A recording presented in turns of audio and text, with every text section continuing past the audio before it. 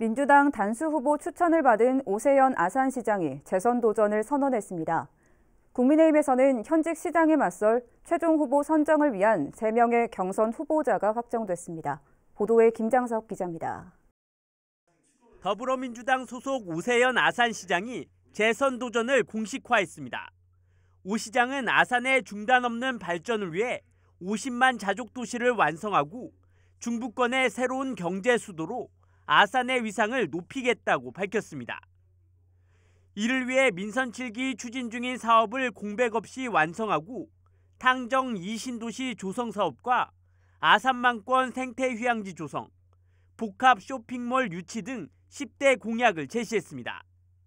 최근 민주당 단수 후보로 확정된 오 시장은 다음 달 초 예비 후보에 등록해 본격적인 선거 활동에 나설 계획입니다. 지금 우리는 아산의 100년을 좌우할 중체대한 기로에 서 있습니다. 지금까지 쌓아온 양적, 질적 성장의 기초를 어떻게 이어가느냐에 따라 아산의 미래는 확연히 달라질 겁니다. 현직 시장의 아성을 깨기 위해 국민의힘에서는 3명의 경선 후보자가 확정됐습니다.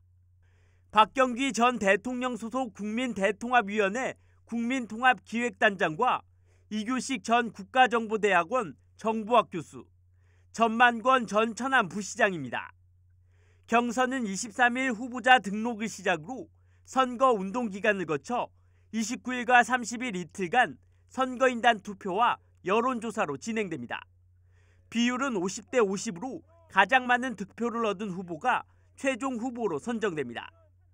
더불어민주당과 국민의힘 양당 후보 대결이 예상되고 있는 아산시장 선거.